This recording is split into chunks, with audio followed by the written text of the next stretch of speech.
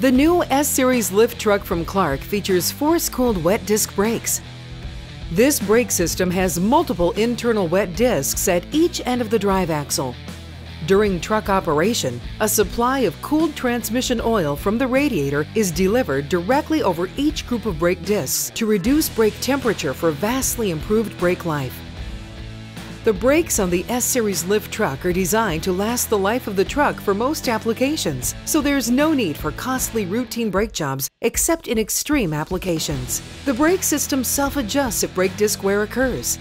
There's no brake squeal and no brake drums to remachine during brake jobs. Brakes and braking performance are not affected by conditions such as water, dirt, or oil. There's also no brake fade during demanding applications like typical dry brakes. The S-Series wet disc brakes are powerful, requiring less pedal effort for improved safety and cause less driver fatigue. The new S-Series lift truck from Clark.